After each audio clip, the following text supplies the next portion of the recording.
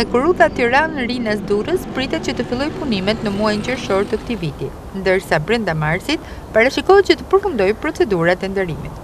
Projekti i rehabilitimit të hekurudhës Tiranë Durrës dhe ndërtimit të zgjatimit të ri në Rinas është pjesë e axhendës së konektivitetit që synon lidhjen mes rajonit e më gjerë me Europën.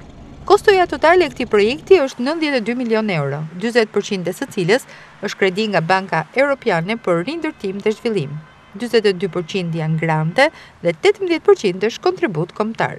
Qëllimi i saj është rehabilitimi i tridhjetë e katër pikë pesë kilometrave hekurudhore midis Tiranës dhe portit kryesor të Durrësit, si dhe ndërtimi i shtatë pikë katër kilometra rrugë të reja hekurudhore midis Tiranës dhe Aeroportit Ndërkombëtar të Rinasit. Fillimisht parashikohej të mbarohej në terminalin e transportit publik, ku është sot, terminali i autobusëve. Por, për shkak të humbjes së udhëtarëve me largimin e stacionit të trenit, është vendosur që të zgjaten edhe disa kilometra hekurudhë, në mënyrë që vetëm terminali i udhëtarëve të jetë afër ish-stacionit të vjetër të trenit, rreth dyqind metra larg parkimit aktual.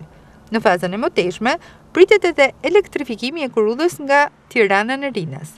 Disa herë janë deklaruar afate në lidhje me zbatimin e kësaj linje, të cilat deri më sot janë shtyrë, pa i dhënë jetë këtij projekti.